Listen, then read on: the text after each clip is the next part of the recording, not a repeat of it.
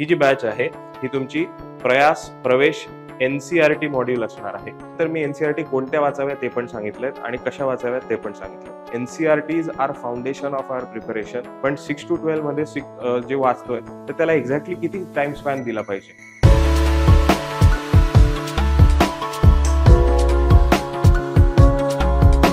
नमस्कार विद्यार्थी मित्रांनो. स्वागत आहे तुमचं पुन्हा एकदा प्रयास इन्स्टिट्यूट ऑफ एक्सलन्समध्ये माझं नाव आहे मोहित सावंत. काही महिन्यांपूर्वी एक व्हिडिओ आपण बनवला होता आपल्या ह्या यूट्यूब चॅनलवर या व्हिडिओचं टायटल होतं N C R T and UPSC तुमच्यापैकी बऱ्याच लोकांनी तो व्हिडिओ बघितला आणि जे विद्यार्थी आपल्या युपीएससी प्रिपरेशनच्या पहिल्या किंवा स्टार्टिंग फेजमध्ये आहेत त्यांच्यासाठी तो व्हिडिओ एक प्रकारचा रामबाण उपायच ठरलाय. कारण त्याच्यात एन सी आर टीशी रिलेटेड सगळ्या क्वेरीज जवळपास मी हँडल करण्याचा प्रयत्न केलेला आहे. Starting from N C R T का वाचावे? त्याच्यात मी विथ प्रूफ तुम्हाला सांगण्याचा प्रयत्न केला आहे की एन सी आर टी कशा पद्धतीने महत्त्वाचे ठरतील तुमच्या प्रिलिम्सच्या प्रिपरेशनसाठी तुमच्या युपीएससी मेन्सच्या प्रिपरेशनसाठी मी विथ एक्झाम्पल्स म्हणजे प्रिलिम्सचे एम सी क्यूज मेन्सचा प्रश्न आणि एन सी आर टीचं त्या बुकमधलं त्या सब्जेक्टमधलं ते रेफरन्स ह्याच्या सकट तुम्हाला तिथे उदाहरणं दिलेली आहेत. त्याच्यानंतर मी एनसीआरटी कोणत्या वाचाव्या ते पण सांगितलेत आणि कशा वाचाव्यात ते पण सांगितलं तो ये जो रिलेशनशिप आहे first let's establish this relationship of NCERT S C बहुत बार कहा जाता है, आपने भी आपकी जर्नी में बहुत बार सुना होगा कि sir you have to refer the NCERTs for if you are starting the preparation of your UPSC if you are starting for giving the, or if you are thinking of giving the attempt of 2024 2025 तो NCERT से शुरू कीजिए। ये एक आपका base prepare करेंगी। लेकिन NCERT के एनसीआरटी से शुरू करना क्यों ज़रूरी है, इसका इंपॉर्टेंस बताने के लिए फ़र्स्ट पॉइंट मैंने यहाँ पे यही डिस्कशन के लिए लिया है कि that let's establish the relation between UPSC and NCERT तो रिलेशन एस्टेब्लिश करना है या नहीं, इसका मतलब बिल्कुल सेम है या फिर सिंपल है। कि सर प्रिलिम्स में कितना वेटेज है एनसीआरटी का और मेंस जो है यूपीएससी की, उसमें कितना वेटेज है। तो यहाँ पे मैं एग्जांपल के साथ आपको बताऊँगा कि why we need to read the NCERTs that is our first point of discussion today तो the very simple answer of this I would say यहाँ पे कोई भी सरप्राइजेस नहीं है। The very simple answer of this question is to get the marks definitely हमें marks चाहिए या फिर मार्क्स लाने हैं, इसके लिए हमें एनसीआरटीज पढ़नी है। तो I show you the proof also in UPSC prelims also you have the importance और weightage of NCERTs 15 to 20 percent one five to twenty percent is the weightage of NCERT की अगर आप डायरेक्टली और indirectly भी calculate किए तो अलग अलग सब्जेक्ट्स में 15 से 20 परसेंट एनसीआरटी का प्रीलिम्स में डेफिनेटली वेटेज है। और in the UPSC mains also there is a question comes always there, there are questions in different subject GS के सब्जेक्ट के बारे में बात कर रहा हूँ वन टू थ्री फोर कि डायरेक्टली तो क्वेश्चन नहीं आएँगे लेकिन you will get the opinion या फिर आपका एक ओपिनियन फ्रेम करने के लिए एनसीआरटी आपकी काफ़ी मदद करेगी। ये भी मैं एग्जांपल के साथ यहाँ पे बताऊँगा। So let's take the prelim वाला एग्जांपल फ़र्स्ट ये एक क्वेश्चन है और जो कोई भी क्वेश्चन मैं यहाँ पे डिस्कस कर रहा हूँ, वो सारे लेटेस्ट ही क्वेश्चन हैं ओके यहाँ पे कोई भी मैं उन्नीस सौ नब्बे या फिर 10 15 20 साल पुराना क्वेश्चन नहीं ले रहा हूँ। You can check the question from the internet okay ये लेटेस्ट यूपीएससी का क्वेश्चन है तो एक बायोजियोकेमिकल साइकिल के बारे में पूछा है स्पेसिफिक न्यूट्रिएंट के बारे में, कि कौन से न्यूट्रिएंट के लिए weathering of rock is the main source in a biogeochemical cycle okay वैसे तो ये क्वेश्चन आप एनवायरमेंट में भी डाल सकते हो, या फिर ये क्वेश्चन आप ज्योग्राफी में भी डाल सकते हो. But here we don't have to discuss the question as such but let see यहाँ इस क्वेश्चन का रेफरेंस हमें कहा मिलता है. I have given you the reference class 12 वाली जो बायोलॉजी की एनसीआरटी है, उसमें चैप्टर 14 अगर आप देखोगे page number 254 I have given with the page number ecosystem वाला जो चैप्टर है तो उसमें अगर ये पैरा आप पढ़ोगे, जो मैंने हाईलाइटेड पैरा दिया है, ये अगर पैरा आप पढ़ोगे you can pause this video यहाँ पे हम लोग क्वेश्चन नहीं डिस्कस कर रहे हैं I am just telling you the importance इसलिए you can pause the video you can read the para and you can decide yourself okay तो यहाँ पे या, ये पैरा अगर आप अच्छी तरीके से पढ़ोगे तो definitely you could have answer this question कि फॉस्फोरस साइकिल ये हो सकता है। ओके ये directly question NCERT based latest UPSC prelims में पूछा गया है। Let's move to the another one ये तो हो गया पिछला क्वेश्चन था इकोसिस्टम या फिर एनवायरमेंट के बारे में। दूसरा एक हिस्ट्री का क्वेश्चन ले लेते हैं कि यहाँ पे मिडिवल इंडिया का कुछ हमें पूछा है कि in terms of size correct sequence in ascending order लगाना है। कुछ ऐसे एरियाज़ या फिर सुबह परगना या फिर सरकार ऐसे एरियाज़ के बारे में पूछा गया है एंड दैट इज़ उसका ascending order in terms of size हमें लगाना है। तो if you see the themes वाला एनसीआरटी जो क्लास 12 का एनसीआरटी है हिस्ट्री के जो थीम्स वाले एनसीआरटीज है न्यू एनसीआरटीज के बारे में बात कर रहा हूँ हिस्ट्री के तो उसमें थीम्स पार्ट टू जो है, ये जो यहाँ पे मैंने दिखाया है तो इसमें chapter four page number two eighteen two one eight तो ये अगर पैराग्राफ आप पढ़ोगे, जो मैंने हाईलाइटेड किया है ओके तो वीडियो अगेन पॉज कीजिए और आप लोग पढ़ सकते हो। तो अगर ये पैराग्राफ हम लोगों ने पढ़ लिया होता तो डेफिनेटली आप ये आंसर दे सकते थे ओके सो ये तो हो गया यूपीएससी के प्रिलिम्स में एनसीआरटी का वेटेज कितना है उसकी बातें and why it is importance I hope you got the importance okay तो let's move on to the mains वाला पार्ट कि सर मेन्स में कहा uh, देखने को मिलता है? सो सी लेटेस्ट मेन्स के बारे में डिस्कशन करूँगा 2022 जो अभी uh, हाल फ़िलहाल में ही मेन्स हुई है तो उसका जीएस पेपर वन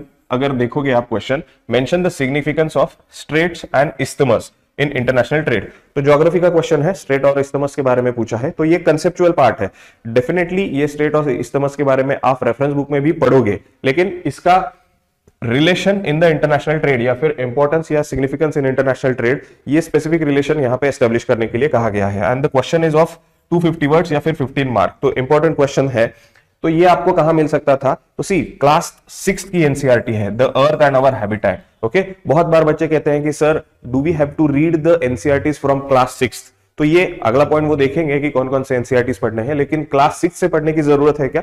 तो डेफिनेटली कुछ सब्जेक्ट की एनसीआरटीज ऐसी हैं कि आपको क्लास सिक्स से पढ़ने की 100 परसेंट ज़रूरत है। तो देखिए, यहाँ पे वापस क्वेश्चन पे आते हैं। स्ट्रेट एंड इस्तमस यहाँ पे दिया गया है क्लास सिक्स की एनसीआरटी अगर आप चैप्टर नंबर सिक्स देखोगे तो यहाँ पे दिया है इस्तमस के बारे में, यहाँ पे दिया है स्ट्रेट के बारे में ओके तो ये रिलेशन आप एस्टेब्लिश करके यहाँ पे डेफिनेटली इंटरनेशनल ट्रेड के बारे में आप कुछ ना कुछ तो लिख सकते थे अगर आपने ये सिक्स की एनसीआरटी पढ़ी होती तो okay with the map and if you can if you could include this map in your answer then definitely it is a plus point okay तो आधा या एक मार्क आपको ज़्यादा डेफिनेटली मिल सकता था। तो this little thing create a difference in your answer writing also as well okay so ये मेंस में भी इंपॉर्टेंस है। I can go on giving you the examples okay ऐसे बहुत सारे एग्जांपल्स मैं दे सकता हूँ, लेकिन ये एग्जांपल्स के लिए I think I have to मैंने पॉइंट प्रूव कर दिया है आपको कि इंपॉर्टेंस मेंस और प्रीलिम्स दोनों में है एनसीआरटी का। So please don't skip the NCERTs okay और क्या क्या चीज़ें हैं? Why NCERTs are important from our perspective तो देखिए, कुछ अलग अलग भी इंपॉर्टेंट पॉइंट्स है कि it will develop NCERTs will develop the basic understanding of the subject okay और the topic in that subject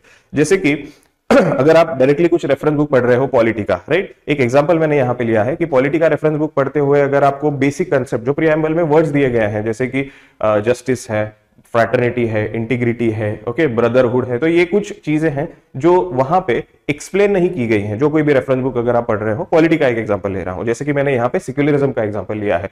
तो व्हाट इज़ सिक्युलरिज्म वो तो दिया गया है, लेकिन what is the difference between western secularism and Indian secularism तो ये बेसिक चीज़ें बेसिक कंसेप्ट आपको एनसीआरटी में पढ़ने को मिलेगी। And that's why NCERTs are important because UPSC prelims में अगर आप देखोगे तो पॉलिटी या फिर ऐसे जो सब्जेक्ट है जो कंसेप्चुअल होते हैं, उनमें से यूपीएससी बार बार आपको बेसिक पे स्टिक कर रहा है। हम लोग एडवांस पढ़ने की कोशिश करते हैं, लेकिन वो बार बार बेसिक पे हिट करते हैं। तो definitely if you have to understand the basic concept economy की भी कंसेप्ट हो सकती है। कम्युनलिज्म क्या हो गया सोशलिज्म क्या हो गया कैपिटलिज्म क्या हो गया। तो इसके लिए आपको एनसीआरटी पढ़ना बहुत ज़रूरी है, क्योंकि रेफरेंस बुक में it is kind of assume that आपको ये सारी बेसिक कंसेप्ट पता है और उसके साथ जो एनालिटिकल कंसेप्ट है, वो पढ़ाई जाती है या फिर वो उसमें ज़्यादा अच्छी तरीके से दी गई है ओके तो you need if you need to clear your basics go with the NCERT first okay then NCERTs की लैंग्वेज छोटे छोटे ये बेनिफिट्स और भी हैं कि लैंग्वेज लूसिड है, कि सर स्मूथ फ्लो है तो लूसिड और स्मूथ फ्लो होने की वजह से it will give the confidence in the difficult subject okay और द टॉपिक कोई भी थोड़ा सब्जेक्ट डिफ़िकल्ट हो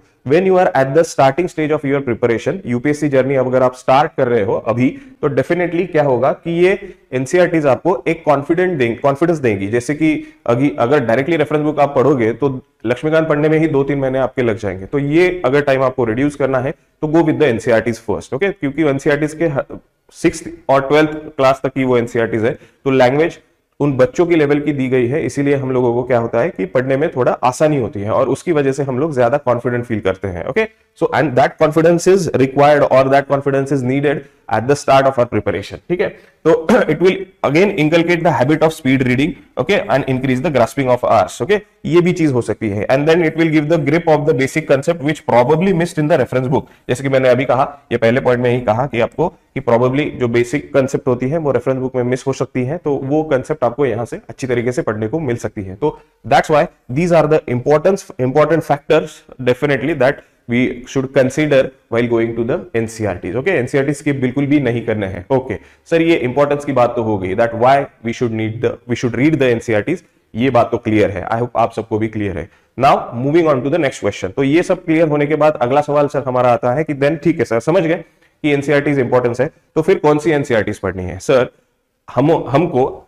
एटलीस्ट अगर हम लिस्टिंग भी देखें एनसीआरटीज की तो we have 40 plus 40 plus NCERTs 6 to 12 subject polity history geography economy science अगर ऐसे करें कैलकुलेशन तो 40 प्लस एनसीआरटीज हमें पढ़नी पड़ती है तो is it actually required to read all the 40 plus NCRTs? The answer is very much no. Then sir, फिर कौन सी एनसीआरटीज पढ़नी ज़रूरी है तो लेट्स सी कौन कौन सी एनसीआरटीज पढ़नी है ओके okay? तो हम लोग सब्जेक्ट वाइज देखेंगे यहाँ पे कि कौन कौन सी एनसीआरटीज हमें पढ़ने की ज़्यादा ज़रूरत है ओके okay? जितनी एनसीआरटीज मैं यहाँ पे डिस्कस करूँगा I tell you the importance of those NCERTs also और अगर आप, आपके प्रिपरेशन के कौन सी स्टेज पे हैं if you are just fresher starting right now the journey of your UPSC 24 25 का आप अगर अटेम्प्ट दे रहे हो, या फिर अगर आप वेटरन हो या फिर इंटरमीडिएटरी स्टेज पे हो तो उसके हिसाब से मैं एनसीआरटी का इंपॉर्टेंस यहाँ पे डिस्कस करूँगा okay so let's see one by one और द सब्जेक्ट वाइज सबसे डिबेटेबल और सबसे इंपॉर्टेंट सब्जेक्ट जो एनसीआरटी के बारे में कहा जाता है that is the history so उसी से स्टार्ट करेंगे। हिस्ट्री में डेफिनेटली एक कैटेगरी की जाती है एनसीआरटीज की that is new NCERTs and old NCERTs okay तो सर, कौन सी एनसीआरटीज ज़्यादा अच्छी है रेफर करने के लिए? तो मैं यहाँ पे आपको स्पेसिफिकली बताऊँगा। एक वेग डिस्कशन चलता है कि सर ओल्ड एनसीआरटीज पढ़, पढ़ लीजिए या फिर न्यू एनसीआरटीज पढ़ लीजिए। तो मैं आपको यहाँ पे स्पेसिफिकली बताने की कोशिश करूँगा। मैं मेरा जो फोकस है वो ज़्यादा से ज़्यादा न्यू एनसीआरटीज पर है। लेकिन ओल्ड एनसीआरटीज भी आपको कौन सी पढ़नी है वो भी मैं यहाँ पे बताऊँगा। तो कहा जाता है टेंटेटिवली कि सिक्स टू ट्वेल्व आपको ये न्यू एनसीआरटीज सारी पढ़नी है। लेकिन यहाँ पे अगर आप नाइन्थ टेंथ और इलेवेंथ ये न्यू एनसीआरटी क्लास क्लास की बात कर रहा हूँ six class to twelfth class okay इसमें अगर आप नाइन्थ क्लास, टेंथ क्लास और इलेवंथ क्लास की एनसीआरटी स्किप करना चाहते हो न्यू तो डेफिनेटली आप स्किप कर सकते हो, लेकिन इसके बदले आपको ओल्ड एनसीआरटीज पढ़नी है ओके तो ओल्ड एनसीआरटीज जो अभी बहुत सारे पब्लिकेशन ने भी पब्लिश की है तो वो भी आप ले सकते हो अगर आपको ओल्ड एनसीआरटीज अवेलेबल नहीं हो सकती है, जैसे कि एंशियंट के लिए आर एस शर्मा हो गई ओके देन मिडिवल के लिए सतीश चंद्रा हो गई ओके और फिर मॉडर्न के लिए बिपिन चंद्रा हो गई, या फिर मॉडर्न के लिए आप स्पेक्ट्रम भी ले सकते हो, और वर्ल्ड हिस्ट्री के लिए अर्जुन देव हो गई। तो ये चार एनसीआरटी अगर आप पढ़ रहे हो विच आर ओल्ड एनसीआरटी तो you can directly skip this nine tenth और इलेवंथ वाला new NCERTs I hope the point is clear here okay आपको कौन सी न्यू और कौन सी ओल्ड पढ़नी है, वो मैं यहाँ पे बता रहा हूँ ओके राइट तो लेट्स सी ये कुछ न्यू एनसीआरटीज के फोटोग्राफ्स मैंने यहाँ पे आपको दिए हैं, ये सारी न्यू एनसीआरटीज हैं ओके अगर आपको ये नहीं पढ़नी है तो बस ये तीन स्किप कीजिए और ओल्ड एनसीआरटी पढ़िए, लेकिन सिक्स सेवन एट ये तीन आपको न्यू ही पढ़नी है ओके और फिर directly you can jump to twelve six seven eight and then twelfth वाला एनसीआरटी की अगर आप वो ओल्ड वाली चार पढ़ रहे हैं तो। ठीक है? तो ये हो गई हिस्ट्री की कुछ एनसीआरटी राइट देन इसके बाद फिर एक फाइन आर्ट की भी एनसीआरटी आती है इलेवेंथ क्लास की। तो definitely you have to read दो दैट फाइन आर्ट वाला एनसीआरटी इलेवेंथ क्लास का जो मैंने कहा आर्ट एंड कल्चर के लिए, ठीक है? ट्वेल्थ क्लास का जो फाइन आर्ट वाला ट्वेल्थ क्लास का जो पार्ट टू फाइन आर्ट वाला है, वो एनसीआरटी आपको नहीं पढ़नी है ओके इलेवेंथ क्लास की पार्ट वन फाइन आर्ट वाली एनसीआरटी आपको पढ़नी है। For the art and culture वाला पार्ट ओके तो I hope you got the answer कि हिस्ट्री के बारे में क्या है या फिर कौन कौन सी एनसीआरटीज हमको कवर करनी है। पॉलिटी के बारे में देखेंगे कि सर पॉलिटी के बारे में कहा जाता है। हाँ। ये एक चीज़ यहाँ पे बताना रह गया कि हिस्ट्री के बारे में कि अगर आप वेटरन हो ये सारी चीज़ें मैंने बताई अभी हिस्ट्री के बारे में those who are starting their preparation अगर आप वेटरन हो and if you are reading spectrum या फिर अलग अलग कुछ आप पढ़ रहे हो या फिर अलग अलग रेफरेंस बुक से ही आप एंशियंट मिडिवल ये सारी चीज़ें पढ़ रहे हो आर्ट एंड कल्चर पढ़ रहे हो तो I would say you should go for nine tenth and eleventh वाला ओल्ड एनसीआरटी वो एटलीस्ट पढ़ लीजिए, ये आप लोगों ने स्किप किया तो भी चलेगा ओके ठीक है? Let's move to the polity वाला पार्ट तो if you are starting your UPSC journey तो आई वुड सजेस्ट कि पॉलिटी के लिए ये सारी एनसीआरटीज आपको पढ़नी है। बहुत ज़्यादा डिफ़िकल्ट नहीं है कि अगर आप ये यहाँ से शुरू करोगे, ये सपोज़ आप क्लास नाइन की एनसीआरटी है क्लास टेन की एनसीआरटी है for polity you don't have to start from the class six first thing ठीक है? आपको क्लास नाइन्थ से स्टार्ट करना है ओके okay? ये क्लास नाइन की एनसीआरटी है क्लास टेन की एनसीआरटी है क्लास इलेवन की एनसीआरटी है। ये आप डेफिनेटली पढ़ोगे कि अगर आप, आपकी यूपीएससी की जर्नी अभी स्टार्ट कर रहे हो तो ठीक है? ये पढ़ना बहुत ही ज़रूरी है। और फिर आगे जाते हैं पॉलिटी के। क्लास 11 वाली Indian constitution at work okay so this is the most important NCERT जो मैंने अभी शुरू में कहा आपको कुछ देर पहले कि बेसिक कंसेप्ट वगैरह जो चीज़ें हैं that all are given in this NCERT तो this NCERT is most important from the polity perspective अगर आप वेटरन हो अगर आप फ्रेशर हो तो मैंने कहा आपको शुरू से पढ़िए क्लास नाइन से ट्वेल्व तक की पॉलिटी की एनसीआरटी कवर कीजिए। लेकिन अगर आप वेटरन हो या फिर इंटरमीडिएट स्टेज पे हो तो यू मस्ट रीड और आपने अगर नहीं पढ़ी होगी तो you must read this NCERT okay ये स्किप बिल्कुल भी नहीं करनी है। आप कौन से भी स्टेज की प्रिपरेशन में आपकी हो। Okay and then for the other people या फिर those are starting their preparation they can read this also okay इससे क्या होगा? किसी पॉलिटिक्स सिंस इंडिपेंडेंस सो आप अगर कहोगे कि सर सिंस इंडिपेंडेंस के बारे में हम लोग कुछ क्लास की नोट्स वगैरह पढ़ सकते हैं तो definitely you can go with that but यहाँ पे कुछ बेसिक चीज़ें हैं, कुछ बॉक्सेस दिए होते हैं, वो अगर उसमें डायरेक्टली क्वेश्चन रिफ्लेक्ट हो सकता है, जैसे मैंने आपको शुरू शुरू में क्वेश्चन के बारे में कहा ओके तो यहाँ तक आपको पॉलिटी की एनसीआरटी पढ़नी है from ninth to twelfth and the very important NCERT is this one okay I hope you got the NCRTs of polity, right? So let's move to the other subject. Geography, history के बाद अगर मैं कहना चाहूँगा कोई important subject है NCERTs के perspective में तो दैट इज़ योर ज्योग्राफी वाला पार्ट ओके okay? जैसे कि मैंने अभी आपको क्वेश्चन दिखाया था सिक्स की ज्योग्राफी में से डायरेक्टली वो क्वेश्चन हम लोग रेफर कर सकते थे मेंस का ओके okay? तो इसीलिए ज्योग्राफी की एनसीआरटी हमें सिक्स टू ट्वेल्व पढ़नी ही है इसको अगर आपने अच्छी तरीके से पढ़ लिया तो you don't have to go यानी ये एनसीआरटी इतनी अच्छी तरीके से दी गई है कि आपको दूसरा कोई भी रेफरेंस बुक पढ़ने की बिल्कुल भी ज़रूरत नहीं है। अलग अलग रेफरेंस बुक होते हैं जो बहुत ज़्यादा थोड़े बल्कि भी होते हैं या फिर बहुत ज़्यादा थोड़े डिफ़िकल्ट भी होते हैं। लेकिन ये अगर आप पढ़ने की कोशिश करोगे तो definitely you don't need any kind of reference book at least for the prelims okay और मेन्स के लिए भी। तो सिक्स टू ट्वेल्व करना है ज्योग्राफी में। जो स्टार्ट कर रहे हैं अपना प्रिपरेशन वैसे ही कैटेगरी करेंगे। जो स्टार्ट कर रहे हैं, उनको ये सिक्स टू ट्वेल्व पढ़ना है। ये सिक्स की एनसीआरटी हो गई सेवंथ एट की एनसीआरटी हो गई। वेटरन्स के बारे में भी बताऊँगा। ओके फिर ये आपकी हो गई क्लास नाइन की एनसीआरटी ये आपकी हो गई क्लास टेन की ज्योग्राफी की NCERT and then this is the most important okay तो जो वेटरन्स हैं, उनके लिए डायरेक्टली अगर आप ये पढ़ सकते हो तो please go with this do not skip this NCERT fundamentals of physical geography eleventh वाला ये वेटरन्स के लिए this is most important NCERT okay then let's move to the eleventh वाला पार्ट टू ये फ़िज़िकल एनवायरमेंट ये second important NCERT है veterans के लिए ठीक है तो ये दो एनसीआरटीज हैं कि जो आपको डेफिनेटली पढ़नी है if you are intermediatory stage in your intermediatory stage of UPSC journey और या फिर आप अगर वेटरन हो तो definitely you should go with this और ये फंडामेंटल्स ऑफ़ ह्यूमन ज्योग्राफी ये भी तीसरी इंपॉर्टेंट एनसीआरटी है okay and veterans can skip this India and people ये आपने नहीं किया तो भी चलेगा। लेकिन for the fresher you have to read six to twelve वाला एनसीआरटी ज़्यादा टाइम नहीं लगेगा। अगर आप सिक्स की बुक भी देखोगे तो वो सिक्स क्लास के लिए बनाई है। तो please don't take that much load की सर सिक्स टू ट्वेल्व तो बहुत ज़्यादा हो जाएगा। ज्योग्राफी हो या फिर हिस्ट्री हो सो सिक्स की एनसीआरटी आपको, अगर आप फ्रेशर भी हो तो आपको खत्म करने में एटलीस्ट ज़्यादा से ज़्यादा एट द मैक्स दो दिन लगेंगे, उससे ज़्यादा नहीं लगेगा। So don't get afraid by the number और don't get afraid by the these pictures की सर इतनी सारी एनसीआरटी पढ़नी है। ये बहुत अच्छी तरीके से कम समय में कवर हो सकती है okay I tell you that also कि कैसे पढ़ना है how to read these NCERTs I tell you in the next point okay तो ये हो गई ज्योग्राफी वाली एनसीआरटीज ये तीन मैंने कहा कि वेटरन्स के लिए इंपॉर्टेंट है क्लास इलेवन की दो और क्लास ट्वेल्व की एक right So these are the important NCRTs. Then go to the economy Again, economy section में आपको सिक्स क्लास से एनसीआरटी बिल्कुल भी पढ़नी नहीं है. That is not that much important okay अगर आप फ्रेशर भी हो और वेटरन हो तो बिल्कुल भी नहीं पढ़नी है. Will directly jump to class nine वाला एनसीआरटी नाइन्थ से शुरू करेंगे ठीक है? नाइन्थ टू ट्वेल्व तो नाइन टू ट्वेल्व में भी सारी एनसीआरटीज नहीं पढ़ी, करनी है। जहाँ आप जितनी एनसीआरटीज मैंने यहाँ पे दिखाई है आपको, उतनी एनसीआरटीज आपको कवर करनी है, ये याद रखिएगा। नाइन्थ की एनसीआरटी है, ये जो इकोनॉमिक की एनसीआरटी वो पढ़ेंगे। टेंथ की एनसीआरटी अंडरस्टैंडिंग इकोनॉमिक डेवलपमेंट ये पढ़ेंगे, जो अगर हम लोग शुरू कर रहे हैं हमारी जर्नी या फिर फ्रेशर है तो ये चीज़ें पढ़ेंगे। इंडियन इकोनॉमिक डेवलपमेंट जो वेटरन है, उनको ये पढ़नी ज़रूरी है ओके तो ये आप बिल्कुल भी पढ़िए। ये अगर आपने स्किप की तो चल सकता है, लेकिन ये डेफिनेटली पढ़ने की ज़रूरत है। क्लास इलेवेंथ की एनसीआरटी और क्लास ट्वेल्व की दो एनसीआरटीज हैं आपको कि माइक्रो इकोनॉमी भी है, यहाँ पे मैक्रो इकोनॉमी दिया गया है। माइक्रो इकोनॉमी की भी एनसीआरटी है तो you don't have to nobody has to read this micro economy वाला एनसीआरटी यूट्यूब पे आपको बहुत सारे वीडियोज़ मिल जाएँगे। मृणाल सर के भी वीडियोस है कि माइक्रो इकोनॉमी के वीडियोज़ आप देख सकते हो वहाँ पे। ओके तो एक 20-25 मिनट का वीडियो है, उससे वो कवर हो जाएँगी सारी कंसेप्ट वो आप पढ़ने भी जाओगे तो वो बहुत ज़्यादा डिफ़िकल्ट हो जाएगा माइक्रो इकोनॉमी क्योंकि हमारा वो बेस नहीं होता है ओके तो people are who are graduated from the economics और commerce background they can go on read it if they have they are having interest in that subject but I won't recommend recommend this micro economy वाला NCERT 12 वाला तो यहाँ पे जो दिए गए हैं वो NCERTs आपको बस इतनी ही NCERTs इकोनॉमी की पढ़नी है if you are veteran you have to read this and this NCERT these two NCERTs you have to read okay और अगर आप फ्रेशर हो तो यहाँ से स्टार्ट कीजिए 9 टू 12 ये चार NCERTs कवर करने की कोशिश कीजिए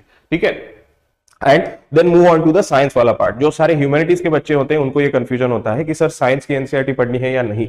और उससे ज़्यादा कंफ्यूजन जो टेक्निकल बैकग्राउंड के स्टूडेंट होते हैं या फिर मेडिकल बैकग्राउंड के स्टूडेंट होते हैं तो आई वुड रिकमेंड अगर आप मेडिकल बैकग्राउंड से भी हो तो एक बार गो थ्रू कर लीजिए ये सारी एनसीआरटीज ज़्यादा टाइम आपको तो डेफिनेटली नहीं लगेगा, लेकिन एक बार गो थ्रू करेंगे तो कुछ बेसिक कंसेप्ट या फिर कुछ अगर अलग चीज़ें वहाँ पे दी गई होंगी, जो डायरेक्टली पूछी जा सकती है यूपीएससी प्रॉब्लम में तो वो आपको यहाँ पे समझ में आ जाएगी। तो साइंस के लिए भी अगर आपका नॉन साइंस बैकग्राउंड है ओके या फिर ह्यूमैनिटीज का बैकग्राउंड आपका है तो definitely you can consider reading these NCERTs okay मैं पहले वापस ये चीज़ कहना चाहूँगा कि अगर आप नॉन साइंस बैकग्राउंड के हो तो you can consider reading these NCERTs ये तो बहुत आसानी से कवर हो सकती है कि अगर आप स्टार्ट कर रहे हो तो। Okay class eight class nine और क्लास टेन की एनसीआरटी इसमें कुछ बेसिक चीज़ें दी गई हैं, जैसे कि यहाँ पे आप देख सकते हो कि न्यूक्लियस क्या होता है सेल क्या होता है सेल का स्ट्रक्चर क्या होता है, ये सारी चीज़ें डीएनए आरएनए क्या होता है। तो कुछ बेसिक चीज़ें यहाँ पे दी गई है। हार्ट का फंक्शनिंग कैसे होता है वेन्स क्या होती है आर्टिलरीज क्या होती है, ये बेसिक चीज़ें यहाँ पे दिए गई है। ज़्यादा फोकस बायोलॉजी पे कीजिए। फिजिक्स और केमिस्ट्री पे ज़्यादा फोकस नहीं किया तो भी चल सकता है, लेकिन बायोलॉजी पे फोकस होना चाहिए okay so please try to cover these NCR if you are from the non science background okay हाँ और सबसे ज़्यादा इंपॉर्टेंट अगर आप साइंस बैकग्राउंड के हो या फिर नॉन साइंस बैकग्राउंड के हो तो सबसे ज़्यादा इंपॉर्टेंट ये क्लास ट्वेल्व वाला बायोलॉजी है। और इसके कुछ आखिर के चैप्टर्स जो एनवायरमेंट के बारे में बात करते हैं, वो ज़्यादा इंपॉर्टेंट है। तो ये आपको आखिर के चार चैप्टर्स तो ये आपको पढ़ने बहुत ज़रूरी है। ओके तो please go through this NCERT even if you are from the science background okay? और अगर आप नॉन साइंस बैकग्राउंड से हैं तो आपको ये सारी चीज़ें पढ़नी है। ये फास्ट कवर कर सकते हो आप नॉन साइंस बैकग्राउंड से हैं, लेकिन साइंस में इंटरेस्ट है, या फिर सर स्कूल में हम लोगों ने तो पढ़ा ही है what is heart how heart works या फिर ये सारी चीज़ें तो अभी पढ़ने की ज़रूरत नहीं है तो you can go through other these NCERTs in a very quick manner but try to cover this NCERT thoroughly if you are fresher और a veteran try to cover this NCERT thoroughly इसके जो आखिर के चार chapter है, जो environment पे focus करते हैं cover that part also okay तो I hope I am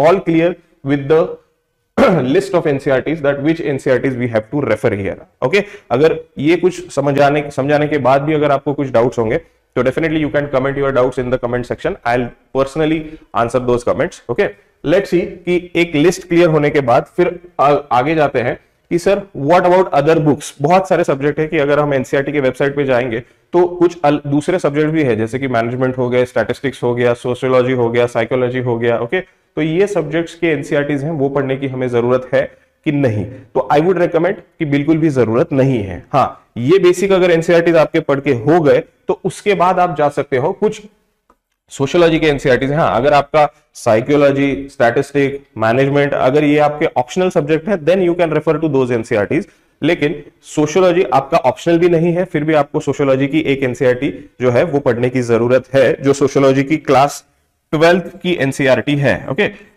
पहले मैं बता दे रहा हूँ कि प्रायोरिटी जो मैंने अभी बताया, उन सारी एनसीआरटीज को फ़र्स्ट है and then this comes to last वाला पार्ट ओके तो सोशियोलॉजी की क्लास ट्वेल्थ वाली जो सोशल चेंज की एनसीआरटी है, वो बस आप पढ़ सकते हो, क्योंकि वो आपको जीएस पेपर वन जो सोशियोलॉजी वाला पार्ट है, उसमें बहुत हेल्प करेगी ओके एक बेस बेसिक अंडरस्टैंडिंग क्रिएट करने के लिए वो एनसीआरटी आपको हेल्प करेगी। तो बस उतनी एनसीआरटी कीजिए, बाकी साइकोलॉजी स्टैटिस्टिक बिज़नेस मैनेजमेंट इन एनसीआरटी करने की आपको बिल्कुल भी ज़रूरत नहीं है okay I hope you are very much now crystal clear with the listing of NCERTs कौन सी एनसीआरटीज हमको पढ़नी है okay let's go then now कि how to read the NCERTs ये तो समझ गए सर कि कौन कौन सी एनसीआरटीज पढ़नी है। तो अभी ये बताइए कि कैसी पढ़नी है एनसीआरटीज ओके कैसी पढ़नी है? इसका मतलब क्या है कि सर, हम लोग जैसे कन्वेंशनल बुक्स पढ़ते हैं, वैसी पढ़नी है, या फिर कुछ अलग टेक्निक्स वहाँ पे यूटिलाइज करनी है। तो मैं डेफिनेटली एक दो तीन चीज़ें कहूँगा।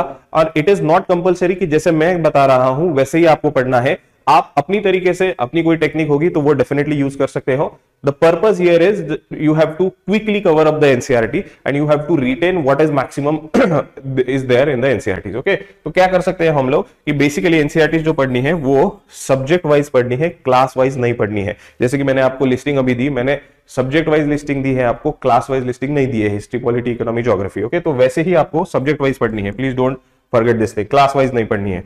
Focus on the overall index of the book ये इंपॉर्टेंट पॉइंट है कि पहले एनसीआरटी जब आप लोगे तो पहले आप इंडेक्स को ग्लास थ्रू कीजिए। इंडेक्स को ग्लास थ्रू करने के बाद आपको एक फ्लो समझ में आएगा, इसमें क्या क्या चीज़ें दी गई हैं क्या क्या पढ़ने की ज़रूरत है okay and then when you start reading with the chapters okay तो पहला चैप्टर अगर आप जैसे पढ़ोगे तो focus on the headings of the chapters okay जो कोई भी हेडिंग्स या सब हेडिंग्स उस चैप्टर में दी गई है, वो पढ़ने की कोशिश कीजिए पहले। तो that will give you the bird's eye view of that particular topic या फिर that particular chapter so it will give you more understanding of that particular concept okay तो बर्ड्स आई व्यू लेने के लिए चैप्टर्स के heading ज़रूर पढ़िएगा पहले directly chapter page to page पढ़ने से पहले okay and then you have to prepare your notes notes कैसे बनानी है उसके लिए मैं अलग एक वीडियोस यहाँ पे बनाऊँगा। तो वो वीडियो आप रेफर कर सकते हैं कर सकते हो। तो एक नोट्स तो डेफिनेटली आपको बनानी है जो कोई भी आपको इंपॉर्टेंट लगता है please do not make the note एक, एक चीज़ यहाँ पे ज़रूर कहना चाहूँगा please do not start making your notes in your first reading only क्योंकि फ़र्स्ट रीडिंग में तो पता ही नहीं होता है कि क्या इंपॉर्टेंट है और क्या नहीं। तो अगर आप नोट बनाने जाओगे तो आप एक जेरोक्स ही उसकी एनसीआरटी की बना सकते हो। उसमें टाइम भी बहुत जाएगा और that is what we can say it is of no use right तो दो तीन रीडिंग होने के बाद नोट्स बनाने की कोशिश कीजिए, ठीक है? और very important point here is NCERT read करते वक्त एनसीआरटी के हर चैप्टर के आखिर में कुछ आपको एक्सरसाइज दी गई होगी। कुछ सवाल, कुछ क्वेश्चंस उस चैप्टर या फिर उस टॉपिक से रिलेटेड आपको दिए गए होंगे। वो सवाल कवर करने की कोशिश कीजिए। तो स्नीक थ्रू द क्वेश्चंस और exercise given at the last of every chapter in each NCERT और वो एक्सरसाइज अगर आप कर सकते हो दैट एक्सरसाइज विल वो एक्सरसाइज क्यों करनी है? उससे कोई मार्क्स मिलने वाले हैं? बिल्कुल भी नहीं, लेकिन वो एक्सरसाइज ज़रूरी है कि आपको वो चैप्टर या फिर आपको वो सेक्शन वो टॉपिक कितना समझ में आया है आप अगर कितना रिकॉल कर सकते हो या फिर कितनी कंसेप्ट अंडरस्टैंड हुई है, इसके लिए ये एक्सरसाइज करनी काफ़ी ज़रूरी है। तो वो स्किप बिल्कुल भी मत कीजिए okay just for the sake of covering NCERT नहीं पढ़नी है हमको, ये एक्सरसाइज डेफिनेटली करनी है okay so keeping mind is this and अगर दूसरी चीज़ है कि आप अगर एनसीआरटी देखोगे तो ऐसे जो चैप्टर एक पेज दिया होता है एनसीआरटी का, उसके बाजू में कुछ बॉक्सेस दिए गए होते हैं ओके तो वो बॉक्सेस पे फोकस करना बिल्कुल भी मत भूलिए, ठीक है? तो because those boxes are important उसमें कुछ इंपॉर्टेंट इंफॉर्मेशन होती है that directly reflect into your examination okay तो वो बॉक्सेस पे बिल्कुल भी फोकस करना है आपको ओके okay? तो ये चीज़ें how to read the NCERTs में आ सकती हैं कि ये चीज़ें कुछ आप फोकस कीजिए एनसीआरटीज पढ़ते वक्त। And the next point goes to कि sir how much time should I give for the NCERTs ये बहुत इंपॉर्टेंट सवाल आता है कि सर ठीक है आपने लिस्टिंग तो बता दी लेकिन या फिर हाउ टू रीड ये भी बता दिया। तो how much time I should spend to read the NCERTs मैं एक टेंटेटिव टाइम बताऊँगा लेकिन ये time is not at all fixed according to your capability your grasping power you can change this timing also कि अगर आप बिल्कुल भी फ्रेशर हो ओके okay, तो according to me one to one point five months okay एकदम अगर आप फ्रेशर हो and you are just at the start of your preparation तो one to one point five months are more than enough to cover all these NCERTs okay तो ये 1.5 month से अगर दो महीने हो गए तो प्लीज़ डोंट गेट पैनिक कि सर ने बताया था तो कि डेढ़ महीने में कवर होना चाहिए, लेकिन नहीं हुआ। तो प्लीज़ डोंट गेट पैनिक दो, दस बारह दिन आगे पीछे चल सकते हैं okay but please don't unnecessary emphasize कि सर चार महीने लग गए और हम लोग एनसीआरटी ही अभी तक पढ़ रहे हैं। तो चार महीने तो ऐसे ही निकल गए तो ये नहीं करना है ओके इसीलिए मैं आपको एक टाइमलाइन यहाँ पे दे रहा हूँ। और अगर आप वेटरन हो तो इसकी तो कोई बात ही नहीं है कि अगर आप वेटरन हो तो definitely you can cover these NCERT जो मैंने कहा कि वेटरन हो तो स्किप करो डायरेक्टली और वो स्पेसिफिक जो मैंने एनसीआरटी कही है, उसी पे फोकस कीजिए और वो कवर करके खत्म कीजिए राईट हा व्हिडिओचं रेफरन्स देण्याचं इथे कारण असं आहे, किंवा आजचा हा व्हिडिओ बनवण्याचं कारण असं आहे, हा त्याच व्हिडिओचा एक सिक्वल असू शकतो, असं आपण म्हणू शकतो. कारण याच्यात त्या तो व्हिडिओ बनवल्यानंतर बऱ्याच विद्यार्थ्यांनी आम्हाला क्वेरीज विचारल्या. म्हणजे फोन प्रयासच्या नंबर थ्रू असेल किंवा मलाही पर्सनली बऱ्याच विद्यार्थ्यांचे मॅसेज आले होते की ठीक आहे सर तुम्ही हे सांगितलं की कसं वाचायचं काय वाचायचं काय नाही वाचायचं. पण याच्यावर एक काहीतरी चेक असला पाहिजे. म्हणजे उदाहरणार्थ की आम्ही वाचतोय. मग हे वाचताना समजा लेट्स से की हिस्ट्रीच्या एनसीआरटीज आहेत. सिक्स टू ट्वेल्व एनसीआरटीज वाचायचे ते मान्य आहे. ते तुम्ही सांगितलं.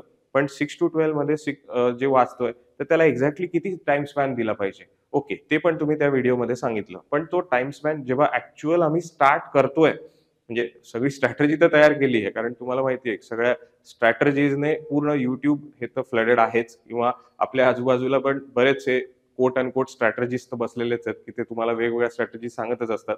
पण ऍक्च्युअल इम्प्लिमेंटेशनची जेव्हा वेळ येते ना तेव्हा मात्र प्रॉब्लेम होतो किंवा तेव्हा मात्र फंबल होतं.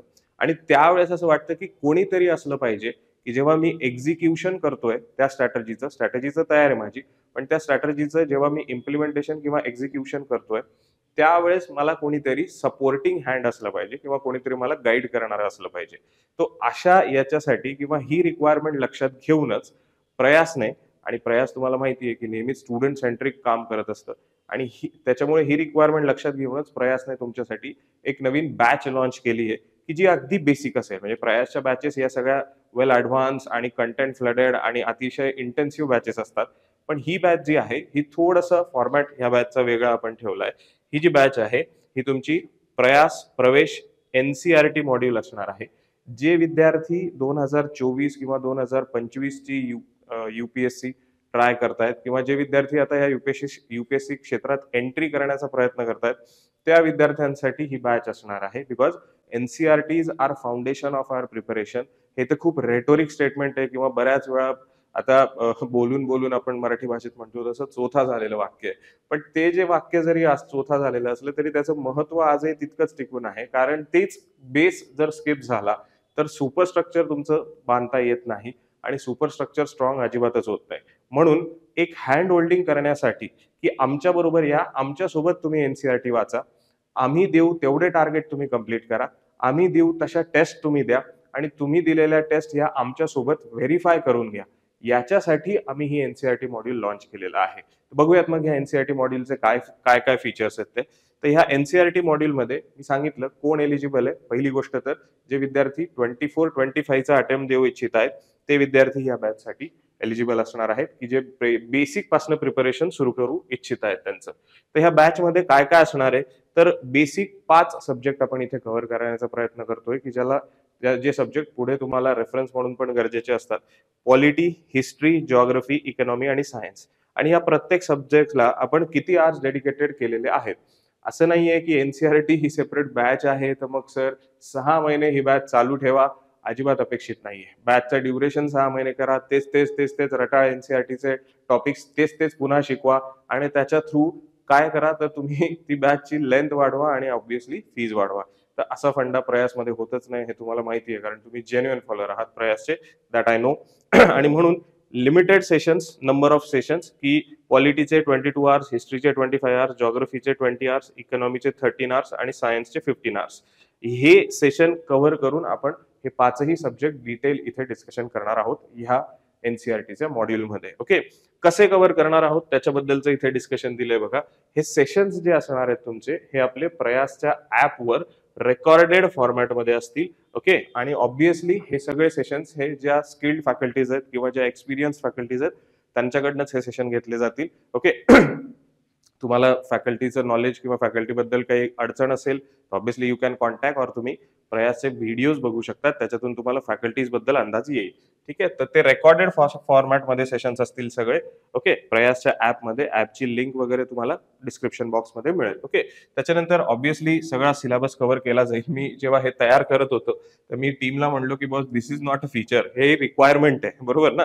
म्हणजे कंप्लीट कव्हरेज ऑफ सिलेबस हे काय फीचर असलं पाहिजे का? This is obviously not a feature he basic requirement आहे. If you are paying something definitely तुम्हाला सिलेबस कव्हरेज हा झालाच पाहिजे. त्याच्यामुळे सॉरी टू से पण हे काही फीचर नाहीये. ठीक आहे? Anyways comprehensive note for each subject yes तुम्हाला जे काही टॉपिक शिकवले जातील आम्ही स्टँडर्ड एनसीआरटी तर आपल्याकडे आहेतच. ते तुम्ही प्रयासच्या वेबसाईटवरून पण डिटेल डाउनलोड करू शकतात. पण त्याच्यासोबतच एनसीआरटीच्या नोट्स पण आहेत. म्हणजे जर तुम्हाला हिस्ट्रीचं सिक्स टू ट्वेल्व एनसीआरटी मी सांगितलं तर सिक्स टू ट्वेल्वचे सगळे एनसीआरटी तुम्हाला वाचायची गरज नाही. हिस्ट्रीच्या एनसीआरटीच्या ज्या नोट्स आहेत त्या नोट्स ह्या सेशन्समध्ये तुम्हाला मिळतील. त्या सगळ्या नोट्स तेवढीच नोट तुम्ही वाचायची आहे आणि रेकॉर्डेड व्हिडिओज करायचे आहेत. That is more than enough for us okay पण तेवढंच नाहीये फक्त याच्यात. राईट तर नोट्स तुम्हाला दिल्या जातील प्रत्येक सब्जेक्टच्या ऑब्विसली पर्सनलाइज गायडन्स जो एक प्रकारे प्रयासचा फोर्टे आहे किंवा प्रयासची युएसपी आहे किंवा प्रयासचं सगळ्यात मोठं वैशिष्ट्य सांगितलं जातं की प्रयासमध्ये पर्सनलाइज गायडन्सच तुम्हाला दिलं जाईल. तर तसं ते पर्सनलाइज गायडन्स थ्रू मेंटरशिप या बॅचच्या विद्यार्थ्यांना सुद्धा ऍप्लिकेबल असणार आहे. ओके त्याच्यानंतर जसं की तुम्ही इथे बघू शकतात याच्यात एनसीआरटी टेस्ट पण आहेत. म्हणजे इथे जर मी तुम्हाला सांगायचं झालं तर प्रत्येक सब्जेक्ट कव्हर केल्यानंतर म्हणजे हे जे आपले कोर सब्जेक्ट आहेत की जे आपले पिलर्स ऑफ प्रिपरेशन म्हटले जातात युपीएससी साठीचे हिस्ट्री जॉग्रफी पॉलिटी आणि इकॉनॉमी या चारही सब्जेक्टच्या प्रत्येकी दोन टेस्ट आहेत. मी पुढे तुम्हाला सांगेन कशा दोन टेस्ट आहेत आणि सायन्सची एक टेस्ट तर अशा एकूण तुमच्या नऊ टेस्ट असणार आहेत या सब्जेक्ट वाईज आणि त्या नऊच्या नऊ तुम्हाला टेस्ट द्यायचे आहेत. म्हणजे तुम्ही व्हिडिओ बघा नोट्स वाचा ज्या नोट्स प्रोव्हाइड केल्या जातील त्याच्यानंतर त्याची टेस्ट द्या. टेस्ट दिल्यानंतर आणि हे सगळं तुम्ही तुमच्या कम्फर्ट झोनमध्ये मी तुम्हाला स्पॅन पण सांगेन. Course duration one five fifty days असेल मी जसं म्हणलं. आम्ही पूर्ण काय सहा महिने आठ महिने बारा महिने एनसीआरटी बॅच नाही चालवणार चालवणार. ती गरज पण नाहीये तेवढी. जास्तीत जास्त course duration one fifty days आहे. ओके? आणि त्या वन फिफ्टी डेज हे जास्तीत जास्त आहे मी तुम्हाला म्हणतोय. त्याच्यापेक्षा कमी वेळेत पण कंप्लीट होऊ शकतं शंभर टक्के. रादर केलंच पाहिजे मी असं म्हणेन. शंभर दिवस हे पुरेसे आहे साधारणतः तीन महिने जास्तीत जास्त शंभर पण नाही.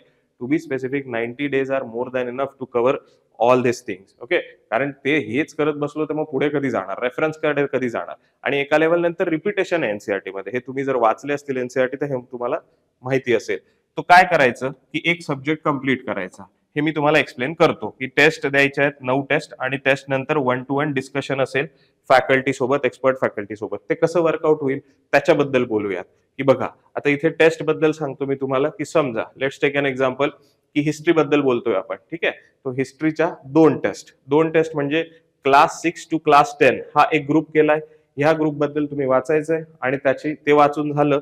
नोट्स वाचा व्हिडिओज बघा रेकॉर्डेड ते झालं सगळं. And when you feel comfortable की आता माझी रिव्हिजन झाली हे सगळं झालंय. आता मी कम्फर्टेबल आहे मी टेस्ट देऊ शकतो. प्रयास ऑफिसला फोन करा की सर माझं एवढं पोर्शन झालंय मी ऑफिसला येऊन टेस्ट देऊ शकतो का? डेफिनेटली तुम्ही देऊच शकतात म्हणजे याचं उत्तर नाही कधीच मिळणार नाही तुम्हाला फक्त टाइम स्लॉट बघितला जाईल. सो टेस्ट तुम्ही तुमच्या कम्फर्टने देऊ शकता ऑफलाईन येत असाल तर ऑफलाईन टेस्ट द्या. ऑनलाईन देत असाल तर ऑनलाईन पण देऊ शकता. ओके आमचा प्रेफरन्स हा ऑफलाईनच असतो. पण तुम्ही अगदीच पॉसिबल नसेल रिमोट प्लेस वरून हा व्हिडिओ बघत असाल तर ऑनलाईन सुद्धा अवेलेबल आहेत टेस्ट ऍपवर सगळं. ठीक आहे? राईट तो तुम्ही फोन करा ऑफिसला इथे या टेस्ट द्या.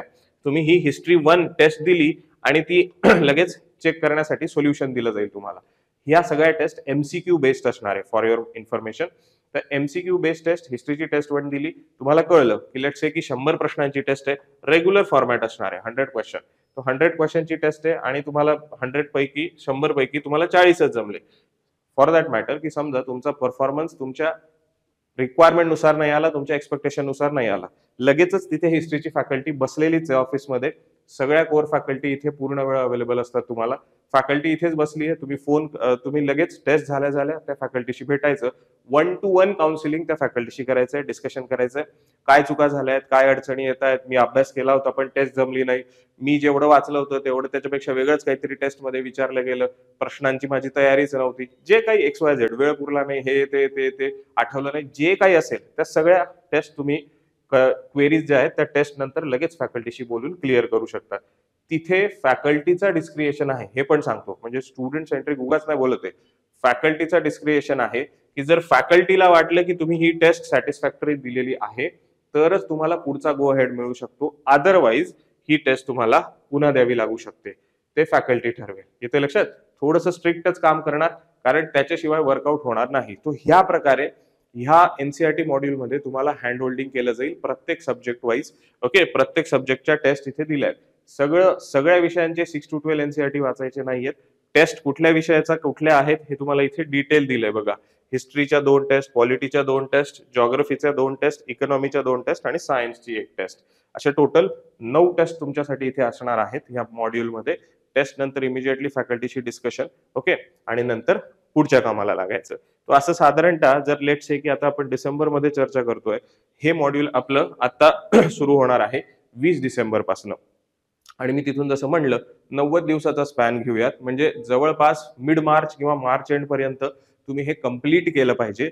जर तुम्हाला ट्वेंटी ट्वेंटी फोरचा अटेम्प्ट द्यायचा असेल बरोबर? राईट म्हणजे सॉरी ट्वेंटी ट्वेंटी फाईव्हचा फोरसाठी हे नाही ऑब्विसली राईट तुम्ही जर ट्वेंटी ट्वेंटी फाईव्हचा अटेम्प्ट देणार असाल तर ट्वेंटी ट्वेंटी फाईव्हच्या विद्यार्थ्यांनी काय केलं पाहिजे? की आता प्रिपरेशन करा ही टेस्ट मॉड्यूल कंप्लीट करा आणि त्याच्यानंतर मग तुम्ही काय मार्च महिन्यापर्यंत जर हे होत असेल तर एप्रिल आणि मे याच्यात रेफरन्स बुकचं थोडं बघू शकतात.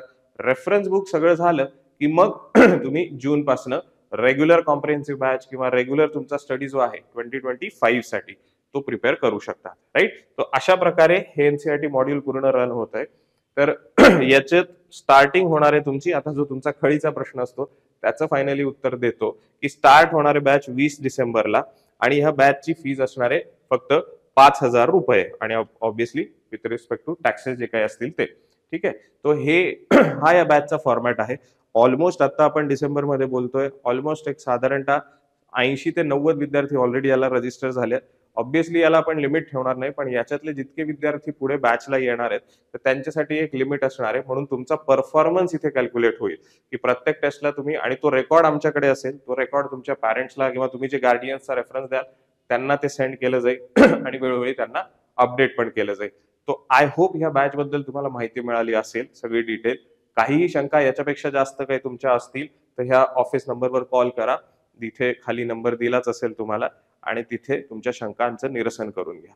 धन्यवाद. भेटूयात पुढच्या सेशनमध्ये बाय बाय